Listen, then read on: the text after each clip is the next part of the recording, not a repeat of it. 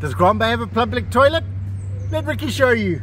Okay, so just past the pétanque court, you've got a public toilet. There's two like holes in the floor and one proper toilet.